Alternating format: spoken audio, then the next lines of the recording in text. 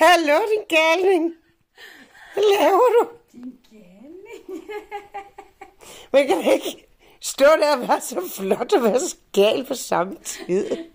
Ej, det har jeg aldrig. Ravne sindssygt. Ja, Det er, men du er flot, mens du er det. ja, det er det eneste bud, der faktisk er på det. Prøv at se, vi skal faktisk snakke om de her bukser. Åh, oh, de er altså også Og flotte. jeg stod sådan her lige før, fordi jeg tænkte, åh, oh, det er flot. Ej, hvad har du der? Der er noget på din lomme. Ja, der er en sløjfe. Er det fordi, der er noget, du skal huske?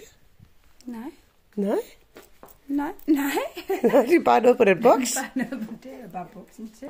Nå, Ja, det er ikke nogen, jeg har sat på. det kunne du godt være. Ej, de er flotte. De er helt vildt flotte. De får også den her lækre sorte. Må lige se din røv? Åh! Oh. Jeg vil gerne lige indrømme og afsløre, at røven følger ikke med. Nej, det gør den ikke. Man må gruse sin egen. Ja. Øh, ja, altså, der skal nok ikke så meget til. Træning går den ikke ind for. Nej, Nej, det er faktisk øh, en del sushi og kaffe. så hvis den kan lide den slap row, så Ja. kan du godt være med her. Nå, Nej, det er boksen jo. ja.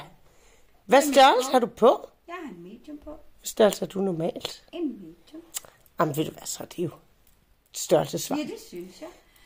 Øhm, Det er højtalede bokser. Ja, Der er plads til et bælte. Hvis man er skulle have lyst. De hedder Miss Bow. De Ja. koster 429 kroner. 429 kroner, det var jo det, jeg sagde. Og hvad størrelse har vi hende i? Vi har hende fra extra small til 2XL. Det er fuldstændig rigtigt. Ja! Og hvor kan man købe hende?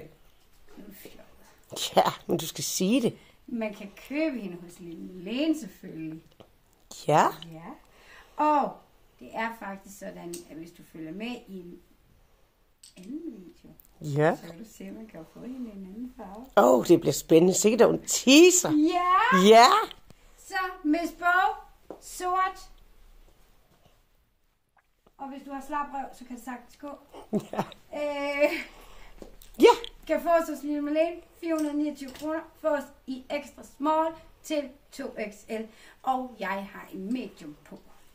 Tak for det. Det var så lidt.